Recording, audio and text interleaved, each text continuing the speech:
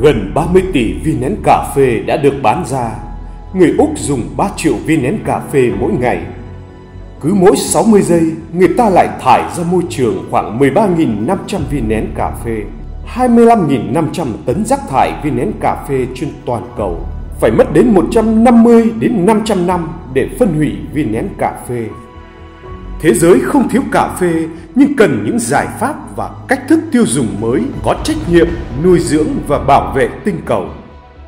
Được sự dẫn dắt của nhà sáng lập, chủ tịch, tổng giám đốc Đặng Lê Nguyên Vũ cùng với tình yêu, niềm đam mê cà phê và hơn 22 năm nghiên cứu về lịch sử, văn hóa, kinh tế, trào lưu thưởng lãm cà phê trên toàn cầu. Các chuyên gia Trung Nguyên Legend nhìn thế giới cà phê qua ba nền văn minh cà phê. Văn minh cà phê thiền, văn minh cà phê Roman, văn minh cà phê Ottoman. Kết hợp các công nghệ hiện đại bậc nhất, tập đoàn Trung Nguyên Legend đã tạo tác nên hệ sản phẩm năng lượng viên nén cà phê rang xay Trung Nguyên Legend đặc biệt, khác biệt, duy nhất, có khả năng bảo quản độc lập và hoàn toàn thân thiện với môi trường các đặc tính vượt trội của công nghệ vi nén bio, nguyên liệu được tuyển chọn từ những vùng tốt nhất thế giới.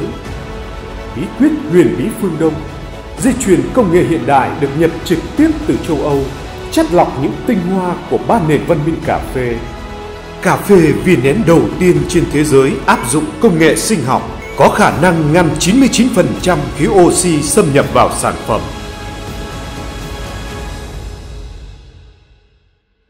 Đồng thời, dòng máy Legendera được thiết kế riêng cho viên nén cà phê rang xay Trung Nguyên Legend cũng có thể dùng cho các loại viên nén cà phê khác. Viên nén cà phê rang xay Trung Nguyên Legend, năng lượng của những phút giây xuất thần